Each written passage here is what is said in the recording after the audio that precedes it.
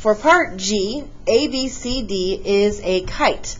Find the following information.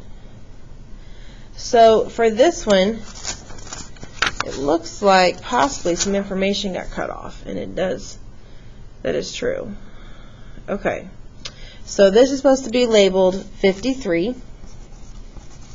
And so if BC is congruent to DC, then this is 53.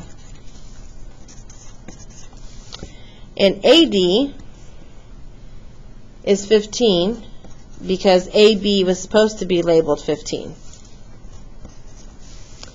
Also, you were supposed to be given that this angle is 42 degrees. You know that this is 90, which makes angle 2 90.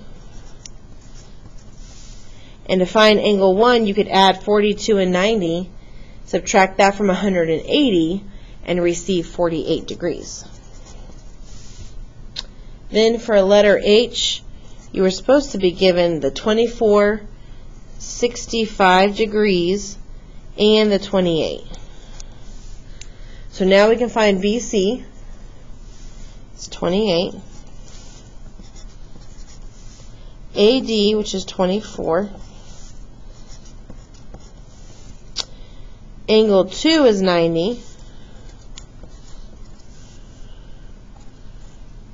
And 90 plus 65, subtract that from 180, and we get that measure of angle 1 is 25 degrees.